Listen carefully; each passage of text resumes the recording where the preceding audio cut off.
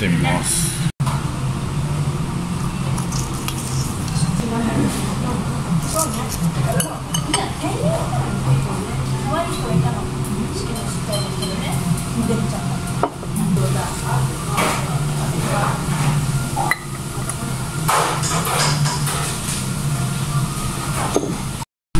焼きそばで締めたいと思う。ここのマンションの焼きそばと餃子はうまいんです。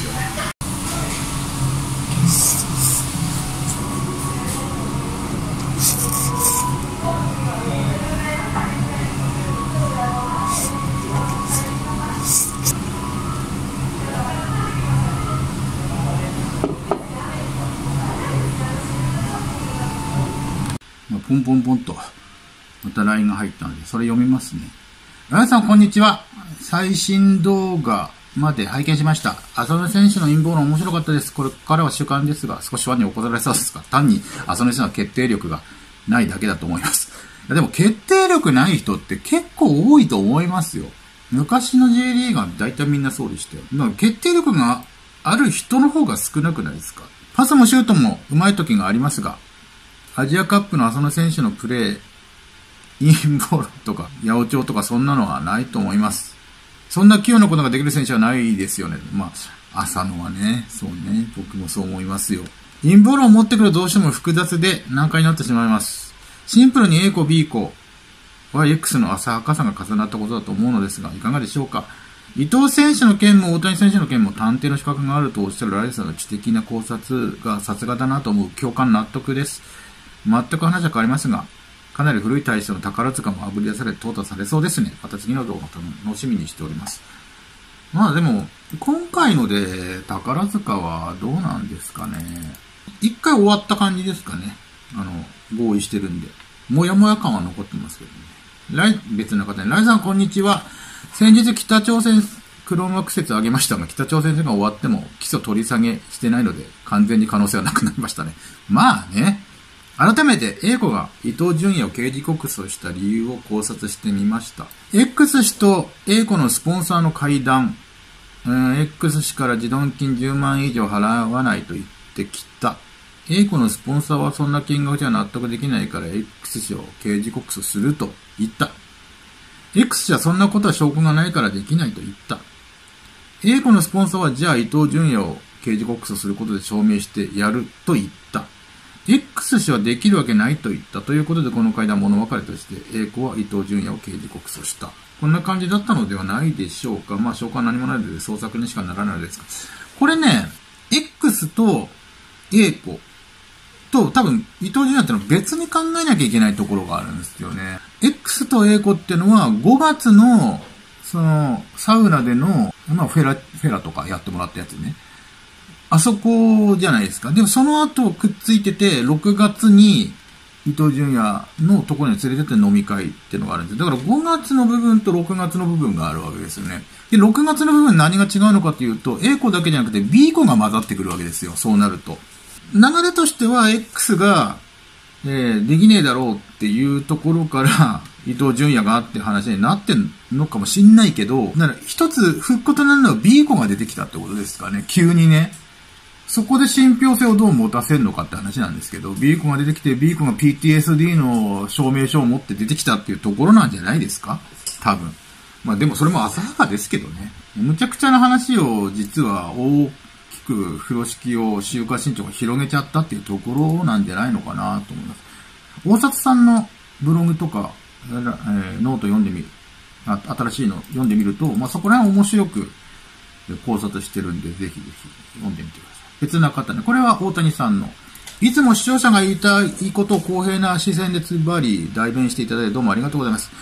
火曜日の会見から数日経ってみて、一平の PC やスマホを押収して、一平や一平関連口座の振込履歴、一平の PC やスマホのオンラインカジノ使用の状況、メールメッセージ的なものオンラインバンキングの使用状況、大谷も同時に操作協力という形で PC や携帯するなら、そこら辺を明らかにしてほしいです。当初は一平がマッシュに送金していて、一平がお金を底ついたとされ、えー大谷に相談したあたりか大谷の送金に切りわ気に変わったのかなとも気になります。ただ先日ライドさんが司法取引という言葉を聞いて、これが働くと真実はわからないまま、一平は裏切り者、泥棒ハッカー、えー、賭博中毒野郎という人間にされて終わるのが可能性が高そうですね。余談ですが、〇〇依存症、中毒の人、あと認知症って本人は自覚がないみたいなんですよね。一平が僕はギャンブル依存症だ、チームルメイトに告白したそうですが、それも圧力かけられて言わされてる感じがしました。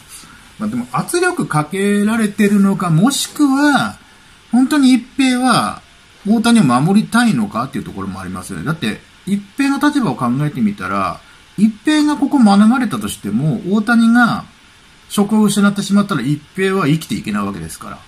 でも一平はここで自分が被ってでも大谷守れば一平は生きていけるんですよ。だそこもあるのかなっていうふうに思ったりもするんですよね。こういうのって物事を考えるときって、動機考えるんですよね。この人ってなんでこういうことするんだろうって。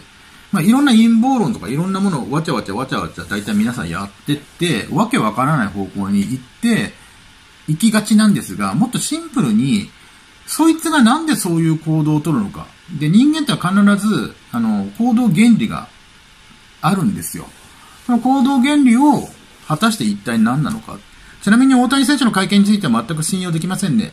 これ、あ、これ別な人ね。ま、またさっきの人がまた来たんで。ちなみに大谷選手の会見についてはまた全く信用できませんね。水原一平さんがギャンブル依存症で大谷の口座にアクセスできれば、大谷こう翔平の口座から自分の口座に振り込むはずです。そうすることで、複数の借り主に返済が簡単にできますし、借金を振り込みする場合、入金元が借り主と名義が違う場合、入金元が違うことで借り主に連絡しなければなりません。多めに振り込めば次のギャンブルの資金にできます。まあ、そうなんですけど、まあ、もうさっきも言ったように僕はだから、借りたんであれば、借用書ぐらい絶対あるじゃないですか。だって7億も口約束で貸さないですよね。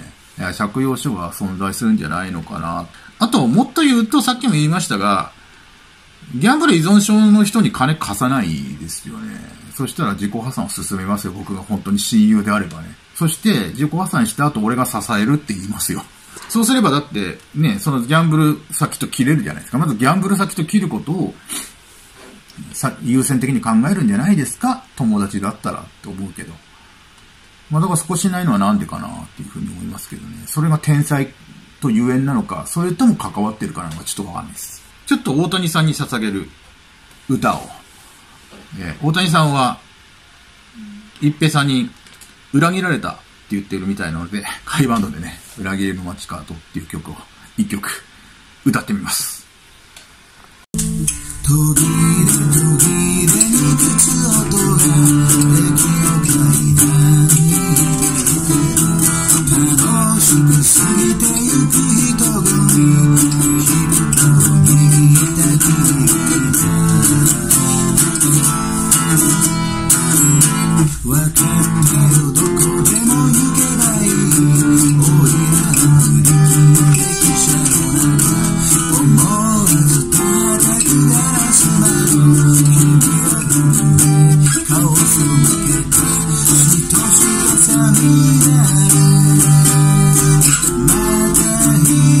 頼り